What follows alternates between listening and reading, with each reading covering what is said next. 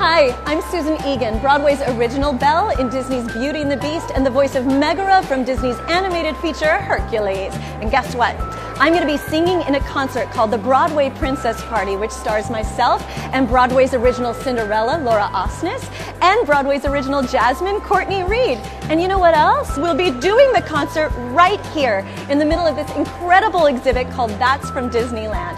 It's the largest private exhibit of Disneyland memorabilia in the world, and it's a thrilling place. You can see all these different rides. Come explore all the adventures here, and then come see our show afterwards. It's on Friday, August 17th. The exhibit is free, and you can purchase tickets to the concert at that'sfromdisneyland.com. Oh, and you can see this princess too. She's melted Snow White. She looks pretty good for 81.